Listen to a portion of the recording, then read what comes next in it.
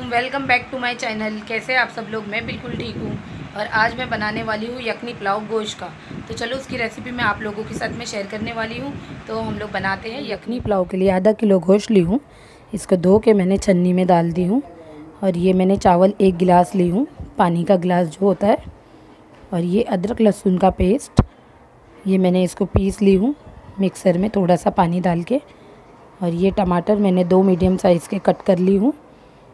और ये प्याज दो मीडियम साइज़ की और ये जो खड़ा मसाला है इसमें दो तीन डंडी दालचीनी, एक बड़ी इलायची, दो तीन लौंग, तीन चार काली मिरी।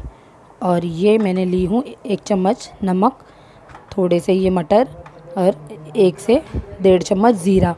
तो अभी हम लोग बनाना स्टार्ट करेंगे।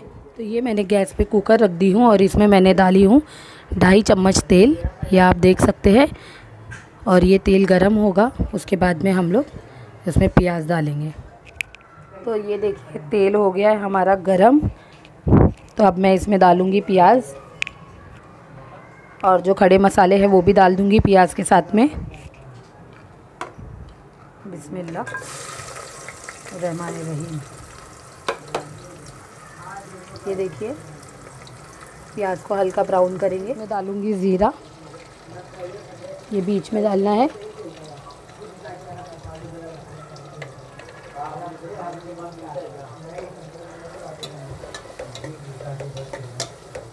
इसको हल्का ब्राउन करेंगे, ज़्यादा जलाएँगे नहीं।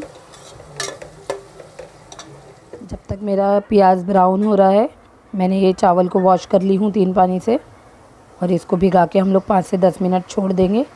तो ये बहुत अच्छे बनेंगे, इसको अगर भिगा के रखोगे तो छुट्टे छुट्टे ये मेरा प्याज ब्राउन हो चुका है, अभी मैं इसमें डालूँगी टमाटर।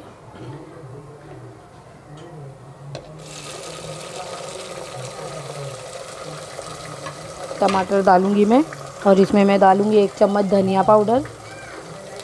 ये मैं भूल गई थी बताने। और इसमें मैं डालूँगी नमक। ये जो मैंने एक चम्मच निकाल के रखी थी, नमक आप अपने टेस्ट के हिसाब से डालना। और थोड़ा कैमरा हिल रहा है, प्लीज़ एडजस्ट कर लेना। एक हाथ से नहीं जमता है। और ये अदरक लहसुन का पेस्ट।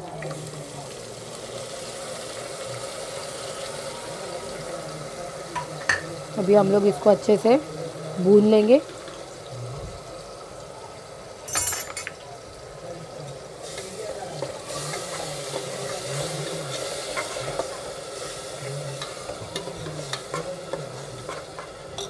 अब मैं इसको ऐसे ही दो से तीन मिनट भून के फिर इसमें गोश्त डालूँगी। गोश्त डाल दूँगी, जो मैंने ये धो के रखी थी। और गोश्त को भी अच्छे से इसमें मिला लेंगे मसाले में। आधा कप पानी डालूँगी और इसको हम लोग दो से तीन सीटी इसकी ले लेंगे। बस इतना ही पानी डालना है, ज़्यादा नहीं डालना है तो सीटी ले लेते हैं। अभी इसका ढक्कन लगा देंगे। अभी हम लोग दो से तीन सीटी लेंगे, फिर इसको खोल के चेक करेंगे। देखिए, हमारी चार सीटी हो चुकी है। अभी मैं इसको चेक करूँगी। इसकी ये गैस पास कर देंगे, उसके बाद ही ढक्कन खोलेंगे। तो ये देखिए गोश्त हमारा ये चार सीटी में हो गया है। अभी मैं इसमें डाल दूँगी चावल को।